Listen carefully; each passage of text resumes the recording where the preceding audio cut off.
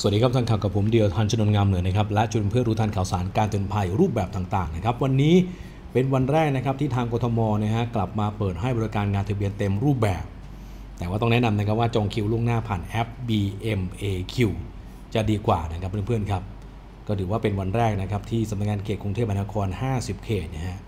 เริ่มกลับมาเปิดให้บริการงานทะเบียนเต็มรูปแบบเลยนะฮะแบบตามปกติอีกครั้ง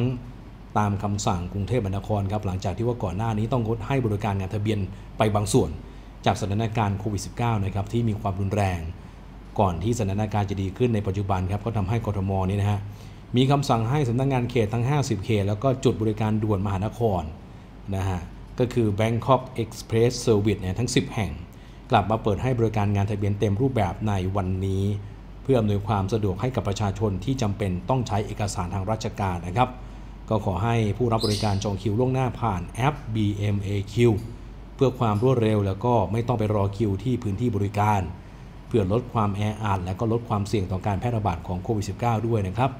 สำหรับจุดบริการด่วนมหานครทั้ง 10 แห่งก็มีสาราว่าการกรุงเทพมหานคร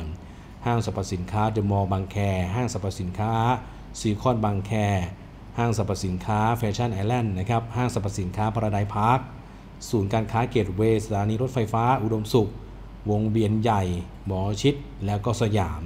โดยหากว่ามีการใช้จุดบริการนะครับไปที่สำนักงานหนังสือเดินทาง กรมการกงสุลกระทรวงการต่างประเทศที่ศูนย์การค้า MBK Center เสร็จเรียบร้อยแล้วนะฮะก็จะให้